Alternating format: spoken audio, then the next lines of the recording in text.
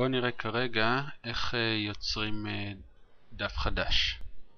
אז כמו שאמרנו קודם, יצרנו פה איזשהו קישור שבור, אני יכול ללחוץ עליו וליצור את הדף פשוט, לא רוצה ליצור דף כזה כרגע, בואו ניתן לו איזה שם אחר.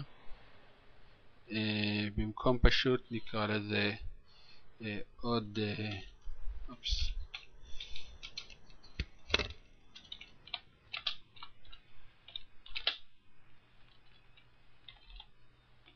עוד ארגז חול. נשמור את זה בלי לבדוק.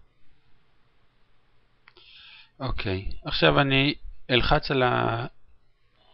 על הקישור השבור הזה בשביל ליצור את הערך או את הדף תוכן עוד ארגז חול.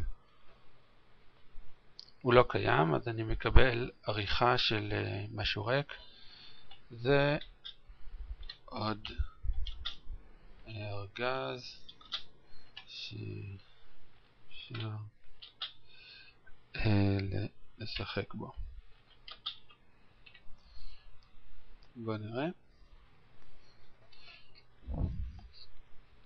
אז עוד ארגז חול מכיל רק את הטקסט הזה, אבל אני עכשיו רוצה להגיע לארגז חול הראשון. אני הולך אליו.